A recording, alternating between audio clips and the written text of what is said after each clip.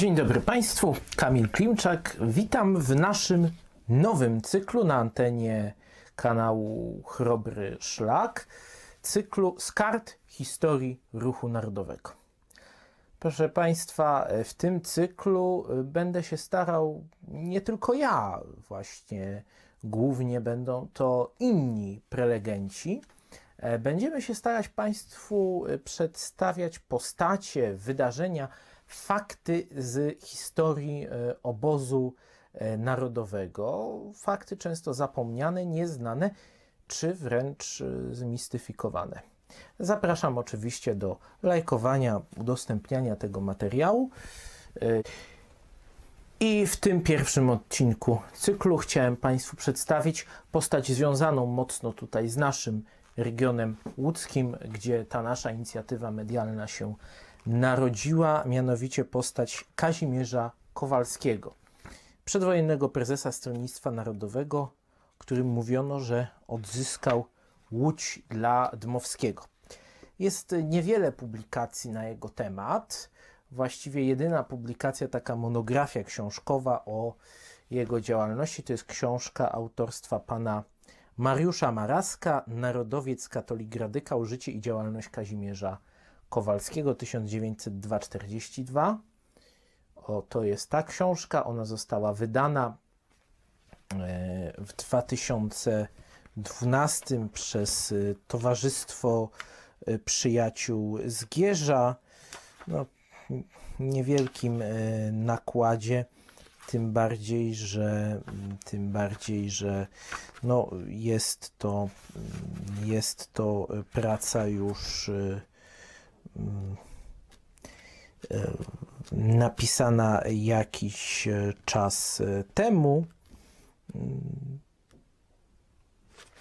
Natomiast jedyna taka przekrojowa monografia w tym temacie. Powstało również wiele artykułów, chociażby Macieja Motasa w Myśli Polskiej i ja też jednego z takich artykułów jestem autorem i on się ukazał w, w sieci historii w sieci historii, tak, to te, tak się, teraz to są sieci historii, no bo samo pismo zmieniło tytuł. E, to jest numer z maja 2018 roku, numer 60. Mm, tutaj taki bardzo skrótowy artykuł, niestety nie da się całości przedstawić. Ja też tutaj będę mm, wiele rzeczy y, traktował dość skrótowo, ze względu na to, że ten cykl ma być, te odcinki cyklu po prostu mają być ograniczone czasowo. Kazimierz Kowalski urodził się 24 lutego 1902 roku w Balinie koło Uniejowa. Był najmłodszym z pięciorga rodzeństwa, dzieci e, Feliksy i Józefa Kowalskich. E, było, było trzy córki, dwóch synów. Kazimierz był najmłodszy, niestety matka przeżyła go zaledwie o miesiąc w wyniku komplikacji po porodzie. E, miesiąc po urodzeniu Kazimierza e, zmarła, więc on się wychowywał. No, e, głównie był jakby pod opieką swojego starszego rodzeństwa, częściowo też ojca, aczkolwiek ojciec głównie zajmował się po prostu prowadzeniem gospodarstwa i e, tymi sprawami gospodarskimi. Miał dość spore gospodarstwo rolne i tuż przed I wojną światową jeszcze do tego to gospodarstwo sprzedał i wybudował e, młyn parowy. E, Kazimierz uczył się w domu, nie chodził do szkoły powszechnej, co y, daje nam asumpt do twierdzenia, że y, pozycja majątkowa y, jego rodziny była całkiem nie najgorsza. I w szkole znalazł się dopiero w 1918 roku w piątej klasie gimnazjum męskiego Kazimierza Tomaszewskiego i, i w tej szkole Y, spędził, spędził następne kilka lat y, u progu już niepodległości. Nie wiemy za dużo o jego przeżyciach, powiedzmy, z czasów szkolnych. Być może możemy tylko tutaj wiele, wiele faktów z tego wczesnego życia szkolnego, studenckiego Kazimierza Kowalskiego jest, jest zwłaszcza w pracy Mariusza Maraska opieranych na, na takich przypuszczeniach, strzępkach dowodów, sprzętkach ślad, śladów, jakichś wzmianek w listach. Natomiast wiemy na pewno, że w roku 1920 Kazimierz Kowalski jako ochotnik wstąpił do armii ochotniczej i e, uczestniczył, był żołnierzem w trakcie wojny polsko-bolszewickiej, natomiast nie znamy też szczegółów, gdzie e, walczył czy służył, e, gdzie go skierowano, jak te trzy miesiące, prawdopodobnie od lipca do października 1920 roku spędził.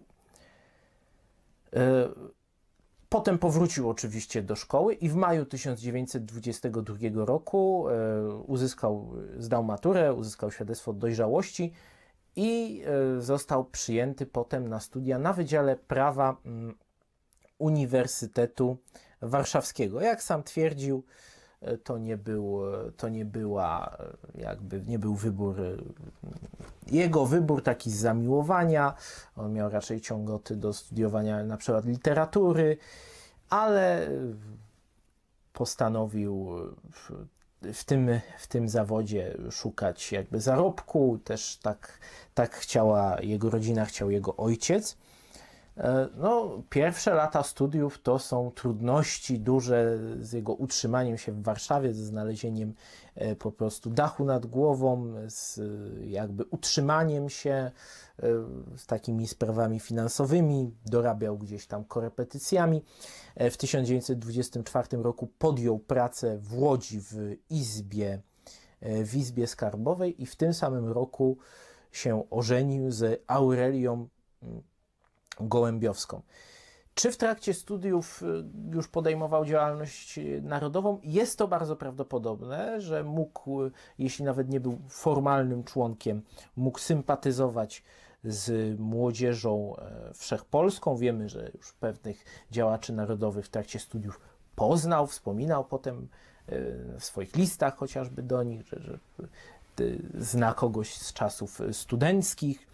E, zresztą ciekawym, ciekawą zmianką jest to, że e, z pierwszemu synowi, który się urodził 22 października 1925 roku, nadał imiona Jerzy mm, Eligiusz. No, to drugie, które było rzadkim imieniem, rzadkim do końca 1922 roku, kiedy to Eligiusz Niewiadomski e, zastrzelił prezydenta Gabriela Narutowicza i ta postać zyskała, i to imię wtedy zyskało dość dużą popularność w społeczeństwie polskim.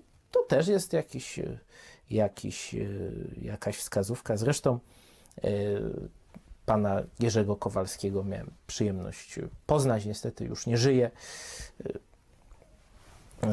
Widywaliśmy się na, najczęściej na po prostu obchodach rocznicy śmierci Kazimierza Kowalskiego. Nie tylko Kazimierza Kowalskiego, ale do tego dojdę na samym końcu z natury rzeczy. Um, ukończył studia w 1926 roku.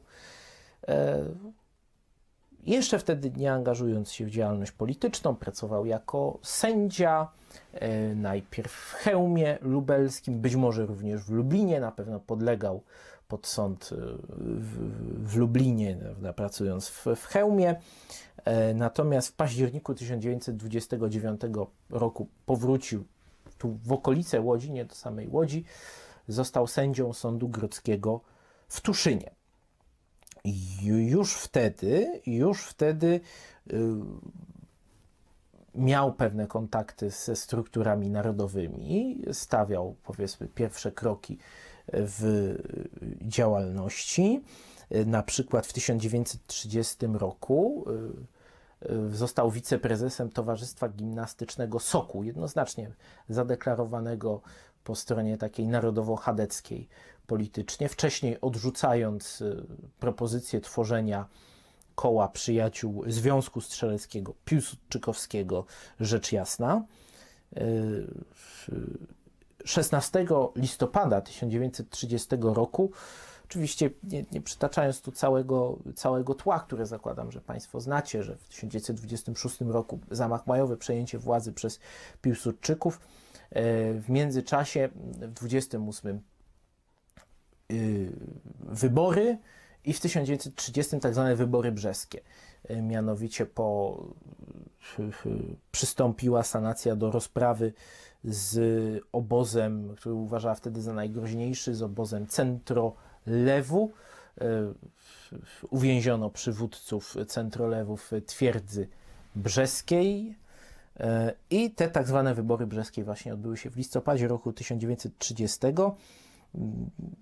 Obóz narodowy już w poprzednich wyborach podniósł dotkliwą porażkę, zdobywając zaledwie kilkanaście procent głosów. Tutaj też zdobył zaledwie 12,7% chociaż wtedy zachodziły pewnego rodzaju przeobrażenia.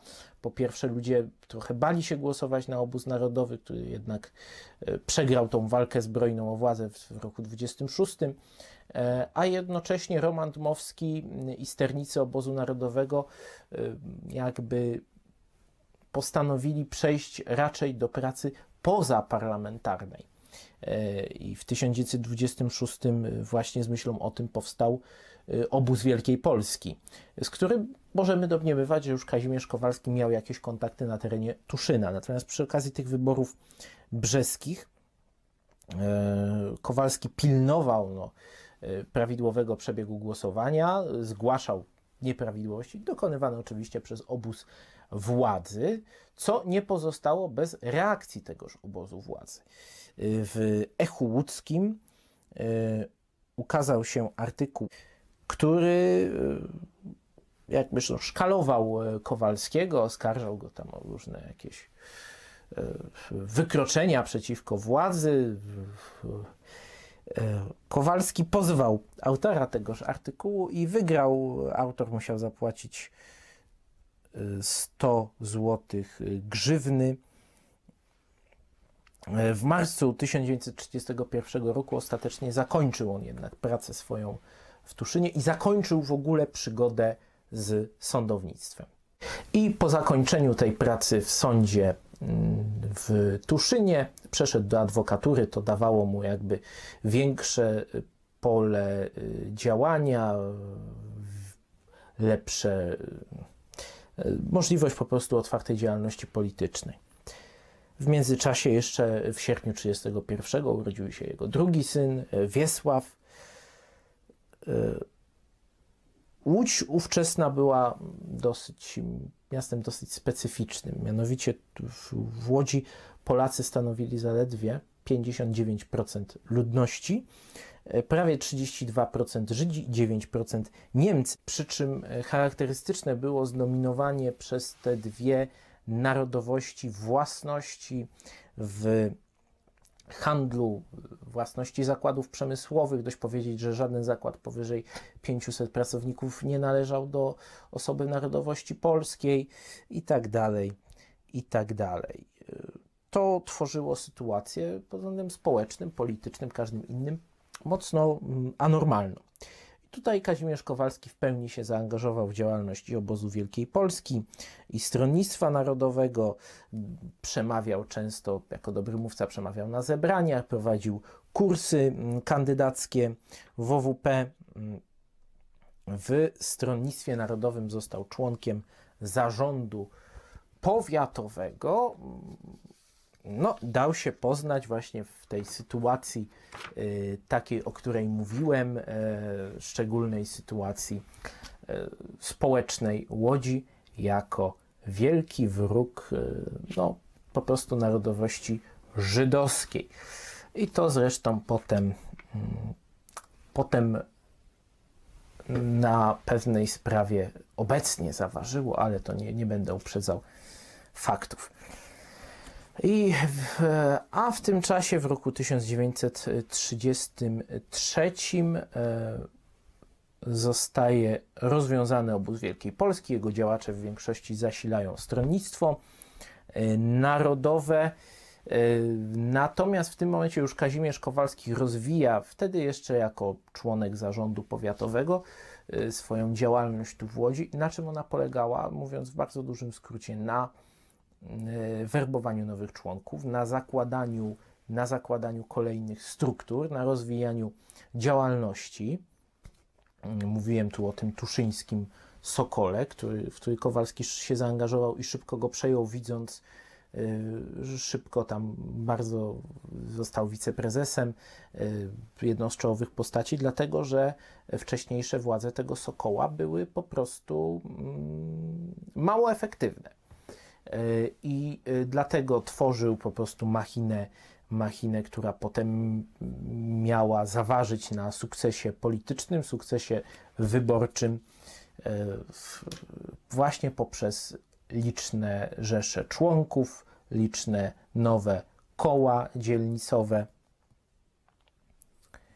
E, no, ta praca została zresztą doceniona i dostrzeżona tym, że w marcu 1934 roku został wybrany do zarządu wojewódzkiego Stronnictwa Narodowego, e, a w międzyczasie doszło do e, nowych wyborów samorządowych. No bo tak to bywało w II Rzeczypospolitej, że e, po zamachu majowym takim głównym polem rywalizacji władzy i opozycji były samorządy, gdzie wyborów demokratycznych nie zlikwidowano. Wybory demokratyczne dalej były.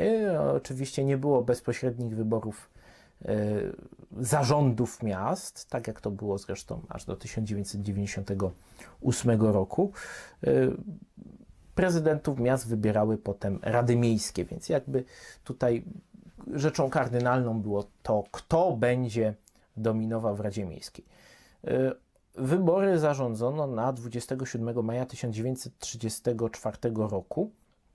I właśnie Kazimierz Kowalski został jakby y, przywódcą tej walki y, wyborczej y, obozu narodowego, bo tak się nazywała lista wyborcza koalicyjna Stronnictwa Narodowego i Polskiego Stronnictwa Chrześcijańskiej Demokracji. Natomiast Kowalski mandat radnego zdobył siedząc w więzieniu.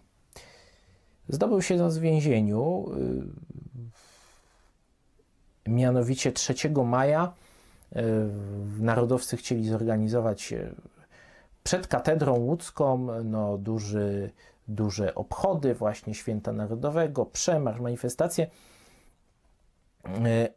E, manifestacji zakazano i to zakazano w ten sposób, że ta informacja nie dotarła do wszystkich, zakazano jej dosłownie w ostatniej chwili.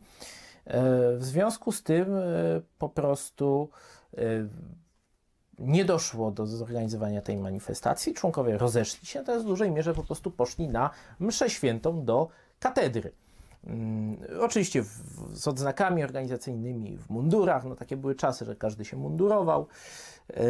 I doszło w tym momencie do starć z policją. Doszło zresztą do sceny, która yy, chyba. Yy, rzadko się nawet w czasach PRL-u powtarzała, a teraz w pewnej mierze też też się, e, też miała miejsce, mianowicie policja wtargnęła do katedry i wyciągała z niej w trakcie mszy e, działaczy narodowych. To bardzo, bardzo symptomatyczne i myślę warty zapamiętania e, fakt. No i mm, kilka dni później aresztowano kilkunastu czołowych łódzkich działaczy narodowych.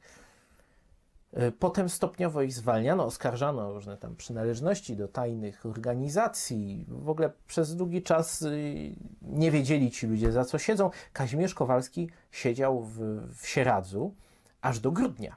Aż do grudnia 1934 roku, 7 e, jeśli dobrze pamiętam, został aresztowany chyba 10 czy 12 maja, a wyszedł 7 y, grudnia. Więc to szmat czasu, 7 miesięcy. Został oskarżony do, o przynależność do tajnej organizacji i usiłowanie obalenia rządu przemocą. E, było z nim sądzonych 18 osób. W styczniu 1935 roku 7 osób za jakieś tam pomniejsze czyny skazano, głównie za te zajścia pod katedrą. Kazimierz Kowalski został uniewinniony, w ogóle większość tych zarzutów upadła. Natomiast w międzyczasie odbyły się wybory. tego 27 maja i były, wynik był dla wszystkich kompletnym zaskoczeniem. Mianowicie przy udziale 65% uprawnionych do głosowania narodowcy, lista, lista obóz narodowy zebrała 98 tysięcy głosów, co przełożyło się na 39 na 72 mandaty w Radzie Miejskiej. Sanacja zdobyła zaledwie 10%, a socjaliści zaledwie 7 mandatów. Był to no, dość, duży, dość duży sukces, tak niespodziewany, że nawet części miejsc zastępców radnych po prostu, po prostu narodowcy ze względu na niedostateczną ilość osób na listach wyborczych nie obsadzili. E, a do tego jeszcze siedząc w więzieniu 4 października 1934 roku został Kowalski wybrany prezesem Stronnictwa Narodowego właśnie w mieście Łódź. E, I Rada Miejska wybrała, wybrała wtedy zarząd. Zarząd miał się składać e, z prezydenta Stanisława Rymara, posła e, Stronnictwa Narodowego z Krakowa, a wiceprezydentami miał być e, Kazimierz Kowalski i Zygmunt Podgórski. Zarząd ten nie został przez ministra spraw wewnętrznych zatwierdzony, motywując to brakiem doświadczenia w pracy samorządowej.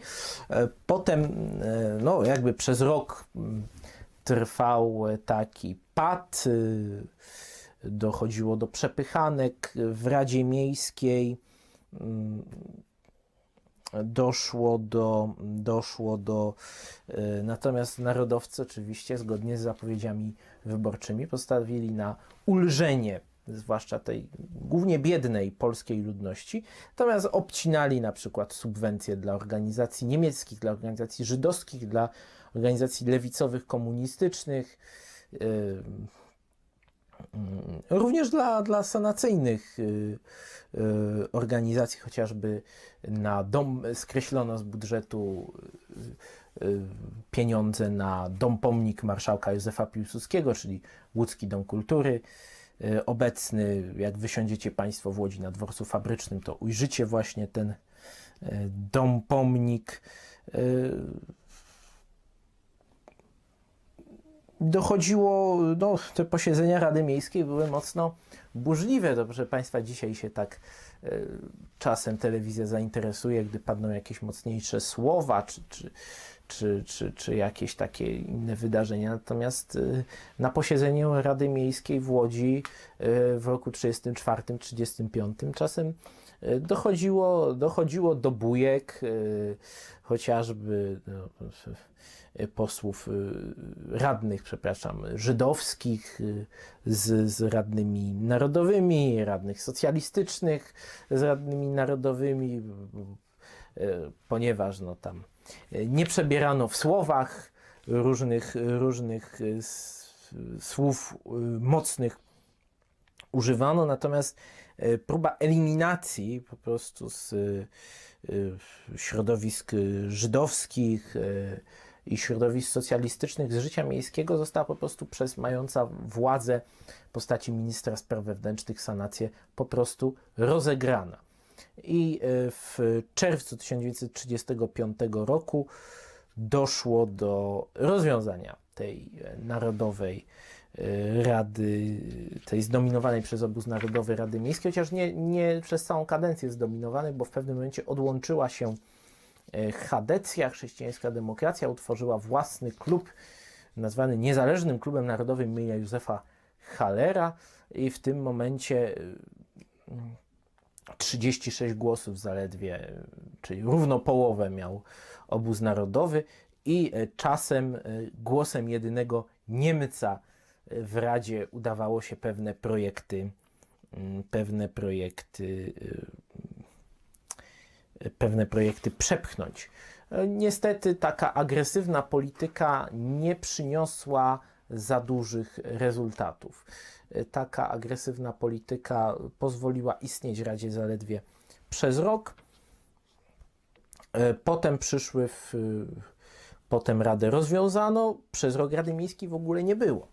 rządziły organa, organa komisaryczne i w czerwcu 1936 odbyły się wybory, ponowne wybory do Rady Miejskiej w Łodzi i tym razem zwycięzcami okazały się połączone listy PPS-u i Polskiej Partii Socjalistycznej i Komunistycznej Partii Polskiej, która że zdobyli 40 mandatów, narodowcy zdobyli mandatów 27, natomiast, y, natomiast y, sanacja w ogóle nie zdobyła ani jednego mandatu, więc to rozgrywanie, rozgrywanie mm, tych walk w Radzie poprzedniej kadencji raczej sanacji y, podówczas podówczas y, występującej najpierw do 1935 jako bezpartyjny blok współpracy z rządem, potem jako obóz Zjednoczenia Narodowego, y, po prostu nie wyszło na zdrowie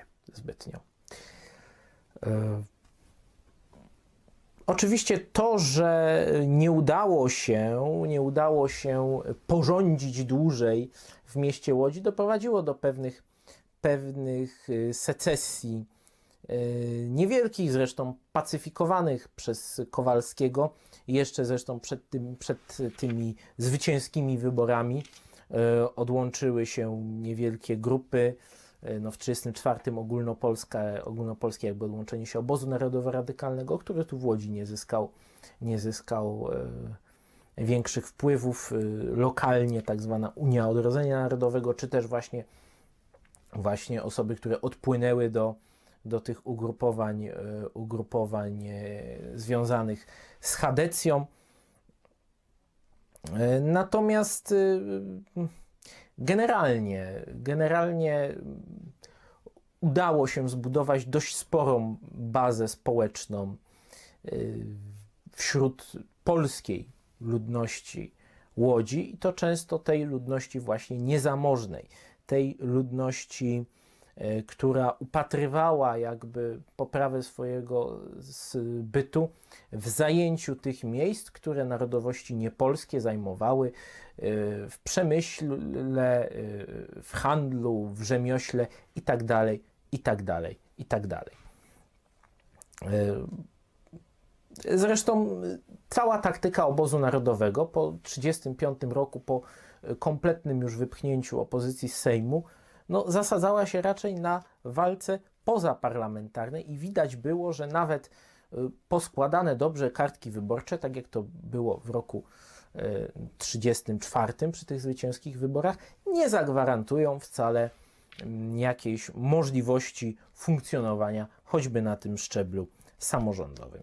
Zresztą ta Rada Socjalistyczna, Y, przetrwała zaledwie od wyborów 10 miesięcy, bo w kwietniu 1937 po y, przyjęciu podobnej taktyki konfrontacji z przeciwnikami, czyli głównie z sanacją, również ta rada została rozwiązana. Natomiast równolegle Kazimierz Kowalski dokonywał, jakby no, no awansował, w, jeśli chodzi o władze centralne E, Stronnictwa Narodowego i w 1935 roku został członkiem Komitetu Głównego Stronnictwa Narodowego. Jakby to przedstawić, e, to e, Stronnictwo Narodowe miało jakby trzy główne ciała, miało Radę Naczelną, Komitet Główny i Zarząd Główny i ten Komitet Główny był, był takim dość istotnym ciałem, na przykład do którego należało praktycznie e, wskazywanie członków zarządu, oczywiście to będzie tylko ujęte tak formalnie, że e, wyboru dokonywanego z, dokonywano z listy przedstawionej Radzie Naczelnej przez Komitet Główny, no ale de facto, de facto oznaczało to, że bez poparcia Komitetu Głównego nie można było wejść do, naj, e, do ścisłego kierownictwa stronnictwa. Mm, potem w 1935-1936 roku Roman Dmowski powołał nieformalne takie gremia kierownicze jak siódemka i dziewiątka. I w obu tych y, gremiach y, nieformalnych, y, w części zakonspirowanych, który, gdzie zapadały jakby najważniejsze decyzje polityczne, również znalazł się Kazimierz Kowalski. Natomiast co ważne, no, w 1937 roku Dmowski zaczął już poważnie chorować i wycofywał się, wycofał się na skutek tej choroby po prostu z czynnego życia politycznego. I w związku z tym doszło do podziałów frakcyjnych. Wcześniej mieliśmy na przełomie lat 20. i 30., na początku lat 30., walki frakcyjne w Stronnictwie Narodowym frakcji tak zwanych starych i młodych. Starzy to byli ci politycy przywiązani do polityki parlamentarnej, którzy pierwsze skrzypce grali we wcześniejszym wcieleniu obozu narodowego w Związku Ludowo-Narodowym. Tacy jak e, chociażby Stanisław Grabski czy Stanisław Głąbiński, e, Stanisław Stroński e, i inni mm, działacze. Natomiast młodzi, no to byli głównie właśnie te, y, to młodsze pokolenie, również do nich należał Kazimierz Kowalski, ci, którzy pierwsze szlify zdobywali właśnie w obozie Wielkiej Polski, czyli po 26 roku, y, czy Jędrzej Giertych, Tadeusz Bielecki.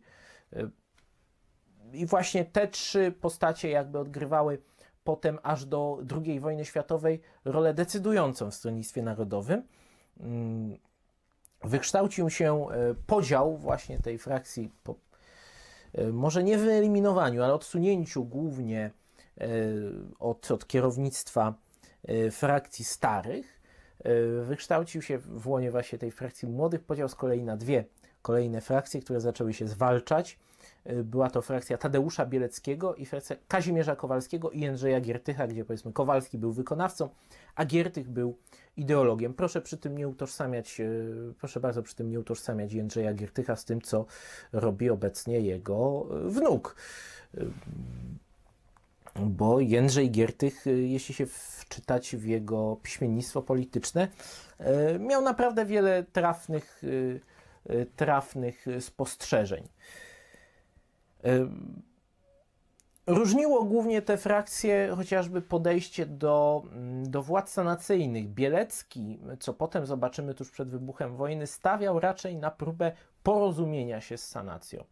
E, Kowalski Giertych to była taka frakcja nieprzejednana, frakcja walki po prostu do ostatniej kropli krwi, aż, aż tą przebrzydłą sanację zmiecie się e, z powierzchni ziemi i e, obóz narodowy wtedy przejmie władzę Polsce, zaprowadzi Y, to takie katolickie państwo narodu polskiego, y, takie państwo y, no, autorytarne, można powiedzieć, w duchu takim, jak to się działo zresztą wtedy w całej Europie, no, od Portugalii Salazara czy Hiszpanii Franco po, po Grecję Metaxasa. Takie, takie ustroje po prostu wtedy dominowały tu tylko kilka krajów wymieniłem, ale no chociażby cała Europa Środkowo-Wschodnia była wtedy rządzona pra praktycznie autorytarnie, czy to, czy to te państwa bałkańskie, czy Węgry. Faktycznie jedyną demokracją była Czechosłowacja w, tym, w tej części Europy. No i 25 października 1937 roku doszło do wyborów w Stronnictwie Narodowym. Na miejsce Joachima Bartoszewicza e, wygrał te wybory na prezesa Zarządu Głównego Stronnictwa Narodowego e, Kazimierz Kowalski, a Bartoszewicz musiał ustąpić właśnie pod zarzutem próby dogadania się z sanacją. Kowalski wtedy przeniósł się z rodziną, swoją kancelarię do Warszawy i właśnie wtedy w Warszawie w Warszawie y, zamieszkał i stamtąd kierował Stronnictwem Narodowym. Mm, we wspomnieniach jego kolegów partyjnych jest to y, odczytywane, że raczej nie czuł się dobrze w Warszawie. E, raczej czuł się lepiej w tym swoim środowisku łódzkim. E, tam się czuł jak ryba w wodzie. Tu e, powiedzmy wypadki toczyły się dużo szybciej. To była nowa rola, do tej roli trzeba było się zaklimatyzować. To nie było dla Kazimierza Kowalskiego proste. Mm. Natomiast skierował Stronnictwo Narodowe w stronę takiego po pierwsze, no, silnego katolicyzmu, to w ogóle było charakterystyczne dla, dla frakcji młodych, yy, gdzie przecież wielu jej przedstawicieli potem znalazło się równie silnie katolickim obozie narodowo-radykalnym. Yy, również nieprzejednany stosunek do sanacji i, i silny, yy, silny antykomunizm. I tak jak już powiedziałem, głównym ideologiem tej grupy był Jędrzej Giertych i właśnie Jędrzej Giertych wniósł też tam silny rys antyniemiecki, który za chwilę zaowocuje. E, natomiast w międzyczasie Kazimierz Kowalski wylądował po raz kolejny na ławie oskarżonych. Dlaczego? Otóż 6 listopada 1938 roku odbyły się wybory.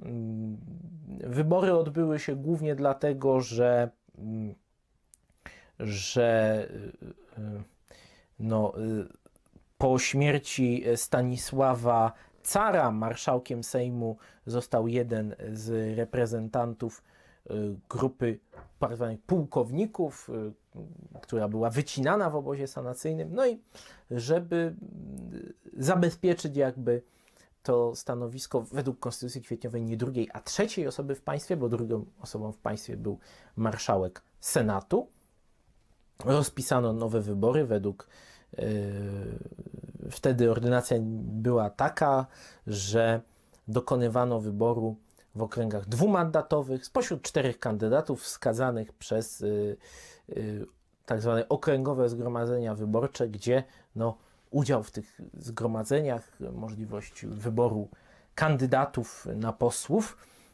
i w ogóle możliwość zostania nawet kandydatem na kandydata na posła, no, była ograniczona dla wybranych, sprawdzonych. De facto w parlamencie znajdowała się tylko sanacja i mniejszości narodowe. To też te mniejszości, o których było wiadomo, ci przedstawiciele, którzy było wiadomo, że nie będą sprawiać problemów. E, I cała wtedy opozycja podjęła hasło bojkotu. E, bojkot był dość skuteczny. Frekwencja wyniosła poniżej 50%, jeśli dobrze pamiętam, to około 45% Y, i za nawoływanie do bojkotu y, właśnie między innymi Kazimierz Kowalski y,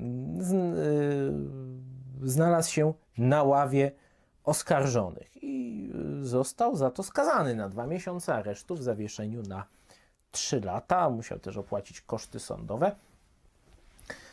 No to bardzo ciekawe, proszę Państwa, za nawoływanie do bojkotu wyborów. To myślę, że historia lubi się powtarzać, więc może zapamiętajcie tylko Państwo ten wypadek i nie będę tutaj go opatrywał żadnym moim autorskim komentarzem. Y, a y, niedługo, niedługo potem, no, dotkliwy cios 2 stycznia 1939 roku umiera Roman Dmowski. E, oczywiście e, Kowalski staje w pierwszym szeregu przygotowań pogrzebowych. E, udaje się delegacja do prymasa Polski kardynała Chlonda z prośbą o możliwość pochówku Dmowskiego w Złotej Kaplicy w Poznaniu. Chląd odmawia i przepraszam i w związku z tym zapada decyzja pochowania Dmowskiego na cmentarzu e, brudnowskim, gdzie zresztą e, kilka dni wcześniej z własnej woli e, spoczął inny wybitny Polak, kardynał Aleksander Kakowski, arcybiskup warszawski. Jeśli będziecie kiedyś Państwo na cmentarzu na Brudnie, to idąc do grobu Dmowskiego właśnie mija się również grup kardynała Kakowskiego, który chciał być pochowany nie w katedrze, tylko właśnie wśród ubogich e, mieszkańców Warszawy na cmentarzu na Brudnie. I e, w, warto jeszcze wspomnieć, mówiłem tu o rysie mm, antyniemieckim. Otóż, y, otóż y, pierwszy taki symptom to była próba właśnie frakcji Kowalskiego i Giertycha w roku 1938.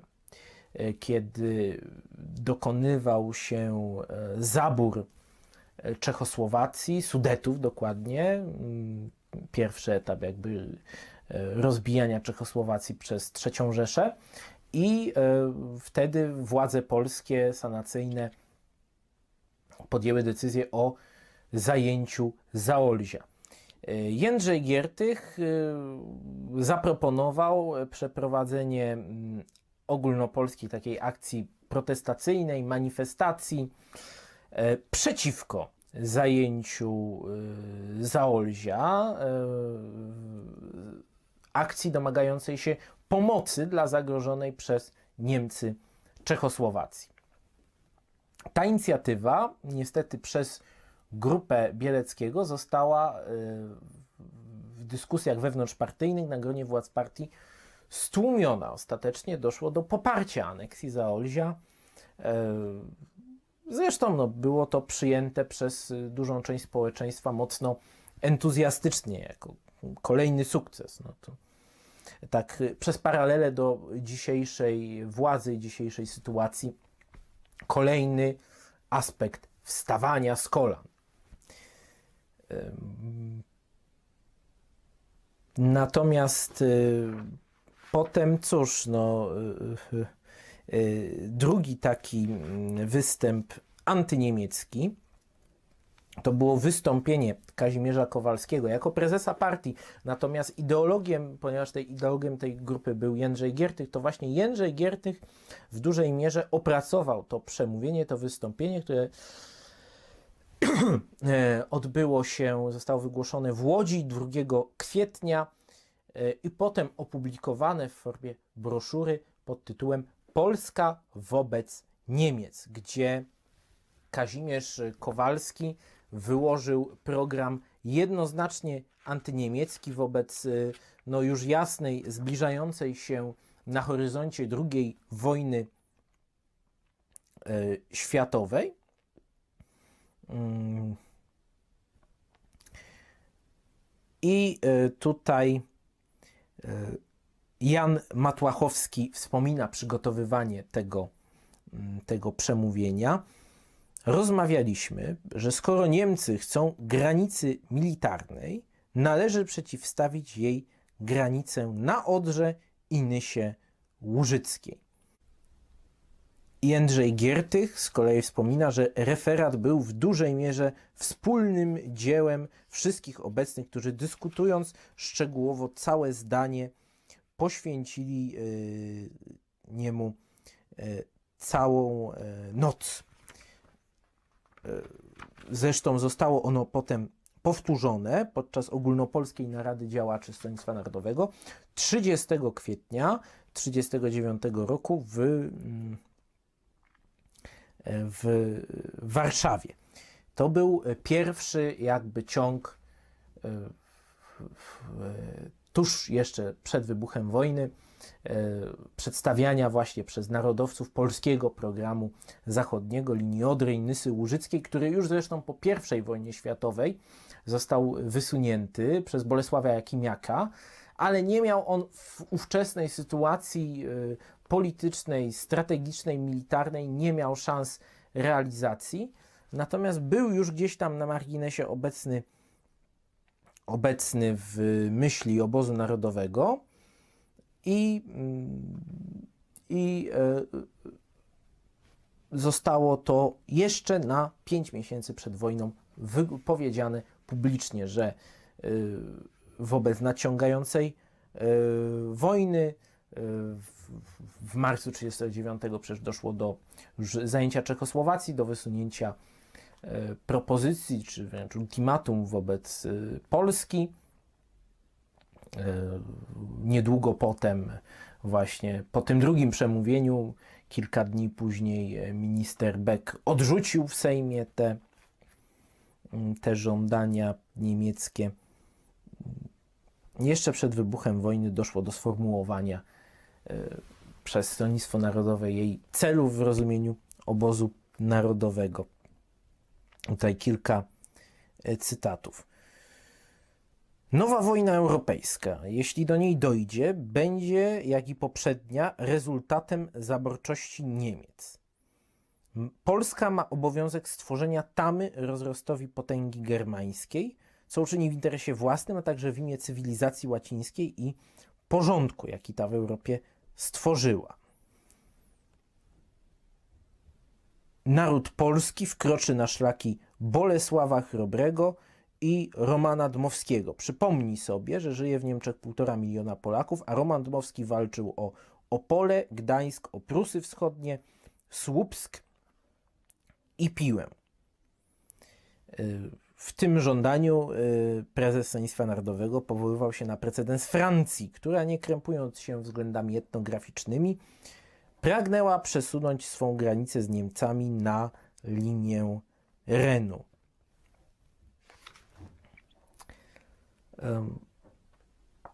I tak dalej, i tak dalej. To zyskało duży oddźwięk y, w, w, w, w prasie ówczesnej, w, w kilku tytułach. Nawet prasa francuska podała, że prezes Kowalski ustala y, cenę y, wojny.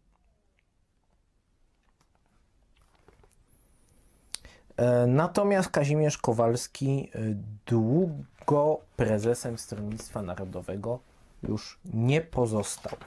Podał się e, w maju 1939 do dymisji i doszło do nowych wyborów, gdzie frakcja właśnie jego i Jędrzeja Giertycha zaproponowała na prezesa Zygmunta Berezowskiego, a na jego zastępców Adama Doboszyńskiego i, i Tadeusza Bieleckiego. Natomiast drugim kandydatem na prezesa był sam Tadeusz Bielecki. Bielecki wygrał zaledwie jednym głosem.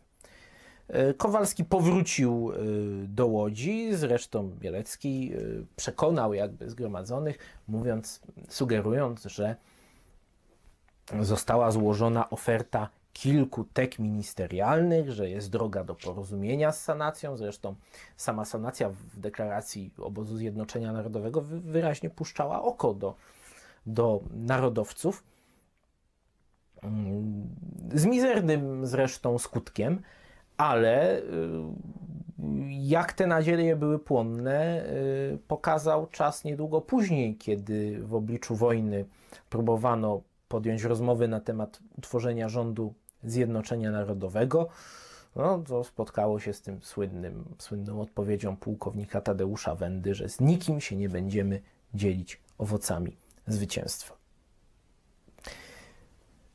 I cóż, y, podczas wojny Kazimierz Kowalski mm, przebywał y, na początku w Warszawie, brał udział nawet w jednym z posiedzeń władz Stronnictwa Narodowego. Potem zdaje się, że chciał opuścić kraj, jednak y, nie wiadomo, czy to mu się nie udało, czy po prostu się rozmyślił i zawrócił.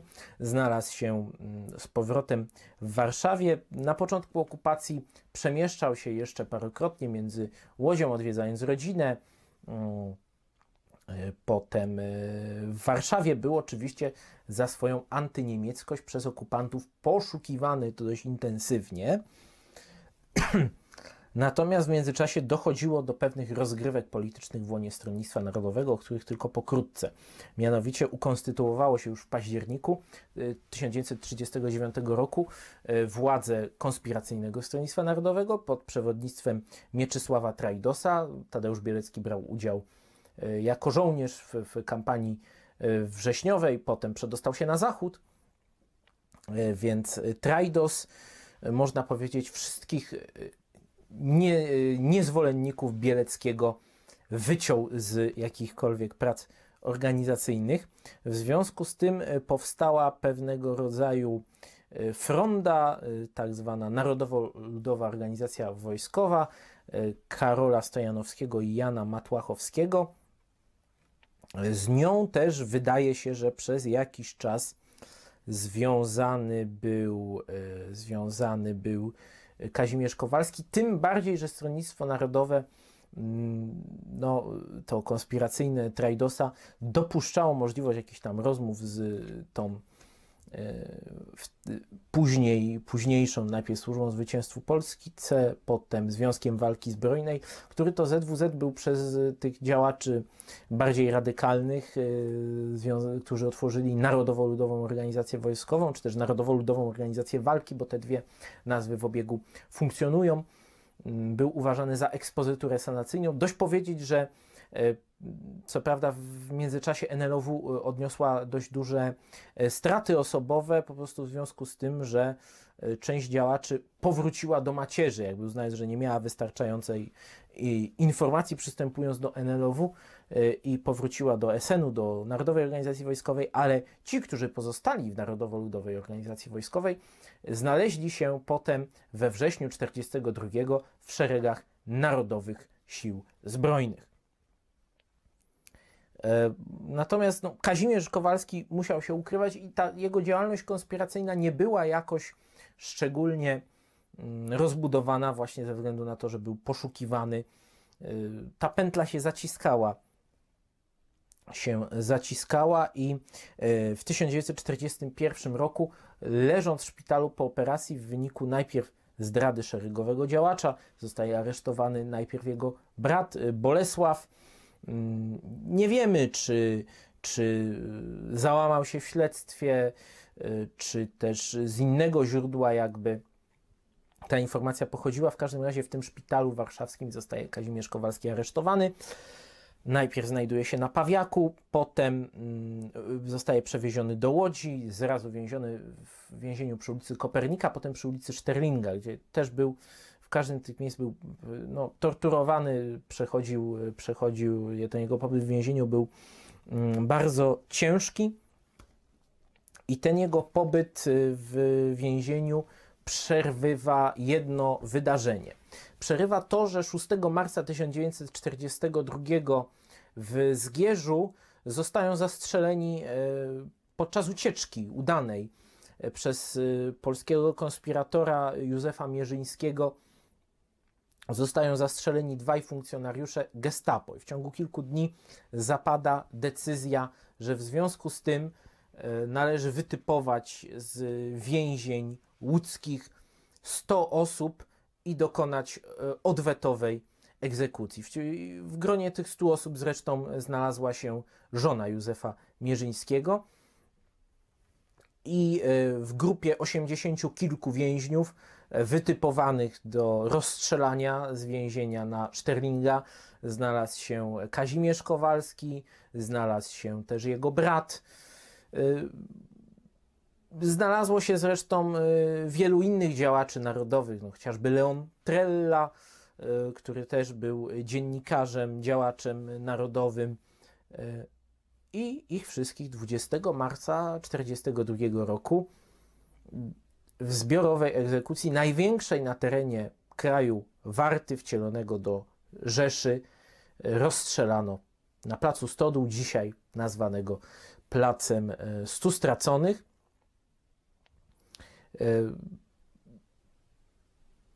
I tu skończyła się, skończyło się 40 lat życia e, Kazimierza Kowalskiego. Pozostał pewien dorobek taki, zwłaszcza, zwłaszcza e, organizacyjny, bo Kowalski może nie był, nie był e, ideologiem, był takim typowym działaczem, tworzącym, tworzącym um,